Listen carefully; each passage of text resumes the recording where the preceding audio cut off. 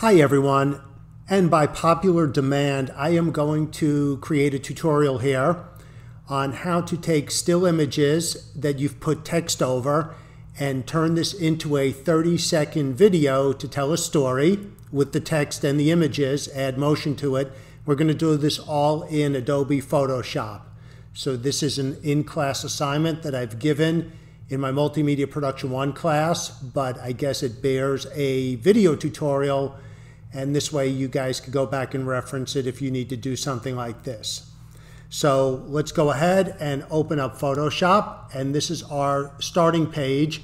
So the first thing we want to do here is we're going to go to Window and then go down here and go to Timeline. And when you do that, it's going to open up this little timeline over here.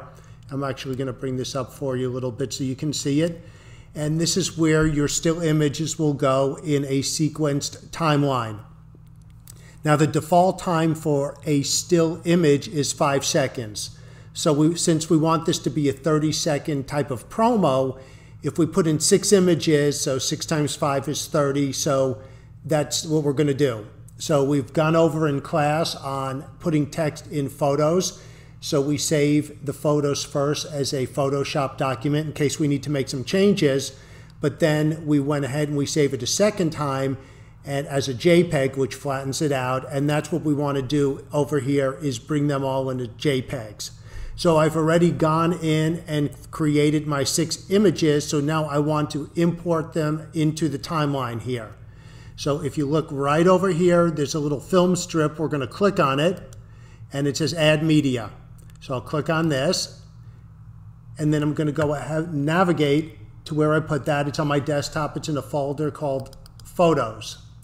So I think the easiest thing to do is to name your images slide or photo one, two, three, four, five, and 6. And the reason why you would do this is that way you can bring all of your images into the timeline at the same time. You can still bring them in one at a time if you you know feel like you need to make some changes and go back but since I've already done all six images I'm going to bring them all in one shot. So as you can see I have here slide one that's welcome to FIU slide two where it's always fashionable to be a proud panther. Slide three study hard and get to class on time. Take advantage of our beautiful campuses. Did I mention the part about studying hard Enjoy your time at FIU and be worlds ahead.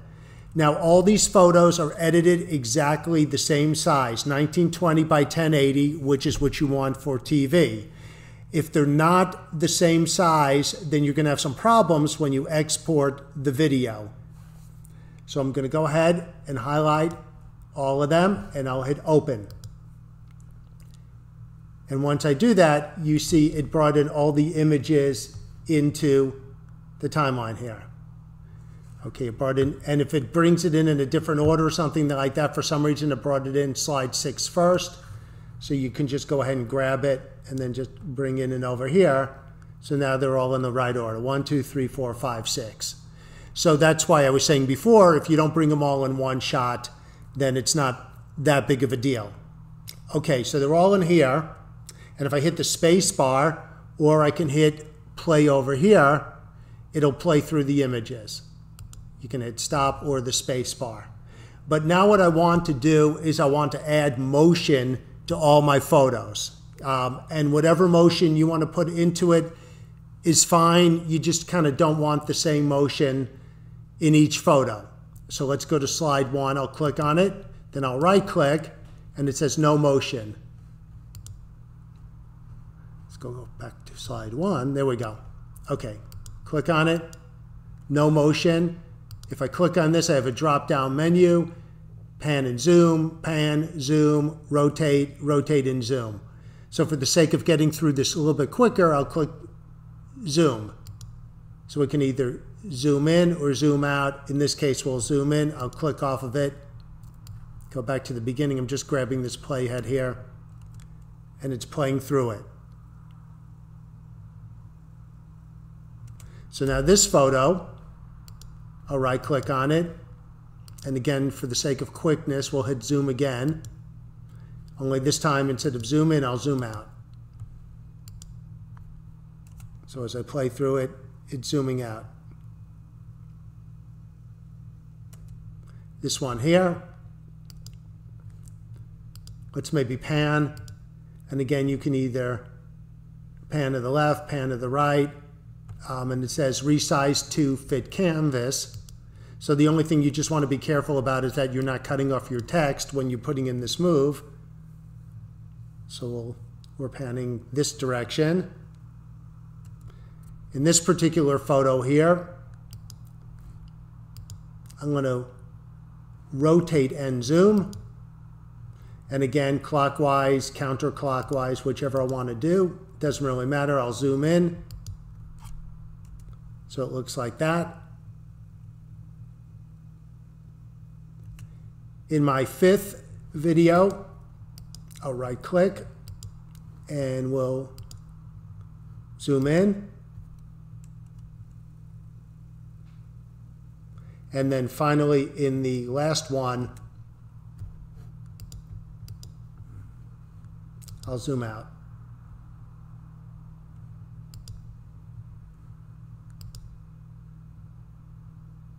We got zoom, there we go, zoom out.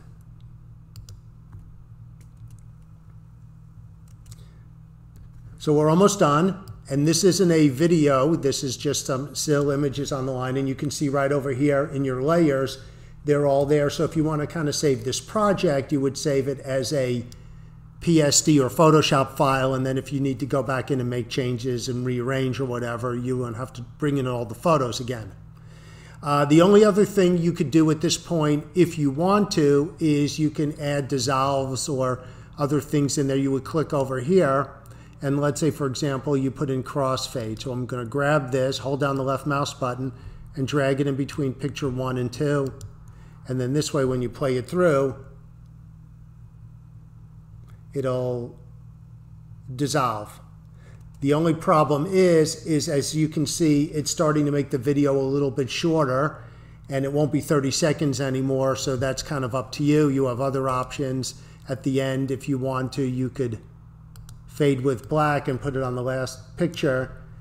So when you get down here, it would fade to black. Okay, so I'm going to go ahead and undo those two to get us back where we were. So um, we have in our motion in all the pictures. So you can see also now here, it says audio track. So we want to add an audio track to it.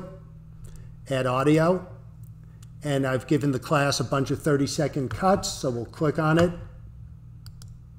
and open, and it'll drop the audio track there. It's a little bit shorter than 30 seconds, but now when you play it back, it'll play with the audio. So our project's pretty much all done. All we have to do now is turn this into a video. So we're gonna go up to File, and we're gonna go to, instead of Save, we're gonna go to Export, and we're going to go all the way down to the bottom where it says render video. And we're going to go in here and we're going to name our project and we're going to call this still image. And it's asking us underneath to select the folder. So I'll click on this and I'll go ahead to my desktop and I'll go to photos where it was. I'll put it in the same folder and choose it.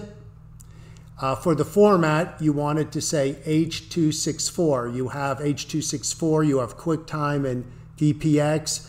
You could probably do QuickTime, but H.264 is typically what it will default to, high quality. And the document size is 1920 by 1080. Once you do that, you don't need to do anything else. You hit render. And then after this exporting video goes away, then you would just go to the folder in which you saved it and double check it, make sure it's all good to go, and then you could upload it or put it wherever you need to be. This is a, a good way to do a picture montage, not only necessarily for my class, but if you're doing a um, bunch of pictures, maybe for some your parents' wedding or something like that, it's it's a good way to do this, and it's a little known feature that most people don't know about Photoshop. Uh, make sure all your photos are sized exactly the same way. When you bring in your first photo onto the timeline here, it's going to uh, make that whole timeline the size of your first photo. So if your first photo is 1920 by 1080, but your second is, it's going to try and compensate by either making it smaller or bigger. A lot of the students don't edit the photos to 1920 by 1080 and they just take it out of the camera. And once they put it on the timeline, you could see black on the sides of the screen. So I hope this helps and you can do your project in class a little bit better now that you've revisited this for a second time.